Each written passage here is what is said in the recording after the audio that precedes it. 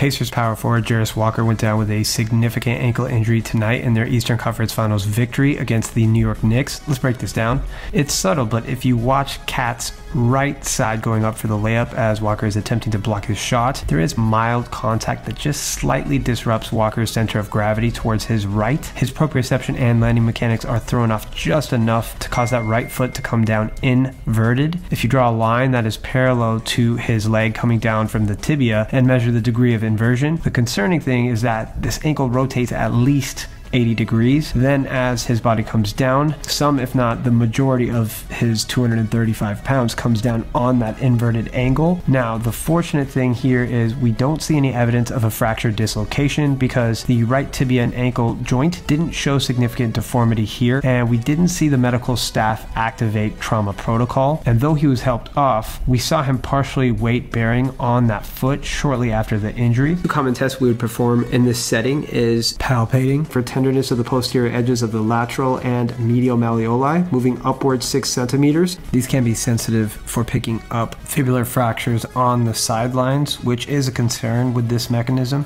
the talar tilt test, which tests the integrity of the low ankle and deltoid ligaments, and a syndesmosis squeeze test to test the integrity of the high ankle sprain structures. In Walker's case, his ankle inverts far beyond the average inversion injury. First thing you do in the locker room is an x-ray of the area to make sure that there is no fracture, especially of that fibular bone, right? It would be common to obtain an MRI to determine severity. The majority of inversion injuries are typically found to be low ankle sprains. A grade 1 typically causes a player to miss a week. Uh, grade 2, which is a little bit more severe, can lead to about a month out. And a grade 3, which is a severe low ankle, can cause a multi-month absence. And with these, we'll also assess for peroneal tendon involvement. Sometimes with severe injury, the tendon can rip out of place and even dislocate, which requires surgery. Hopefully this is a simple low ankle, and I'm sure we'll get more information on that today. Wishing Jarace a safe and speedy recovery.